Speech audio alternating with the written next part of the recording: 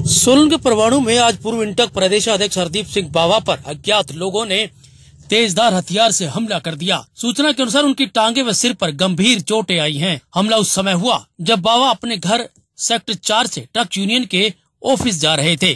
तभी रास्ते में अज्ञात लोगों ने उन पर जानलेवा हमला कर दिया। हमलावरों ने गाड़ी के शीशे भी तोड़ दिए और हरदीप बाबा को सड़क पर पूरी तरह से मारा। मारा पीटा, जिसके बाद हमलावर मौके से फरार हो गए।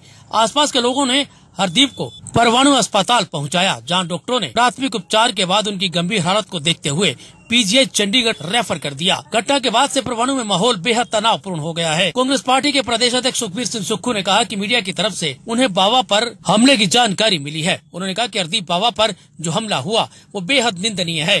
कांग्रेस पार्टी किसी पर भी हमले की कड़ी निंदा करती है। सोलन पहुँचे कांग्रेस पार्टी के प्रदेश अध्यक्ष सुखबीर सिंह सुक्खू ने कहा कि बेशक हरदीप सिंह बाबा उनकी पार्टी में अब नहीं है, लेकिन जिसने भी हमला किया है, वो गलत है। कांग्रेस पार्टी कभी भी हिंसा में विश्वास नहीं करती।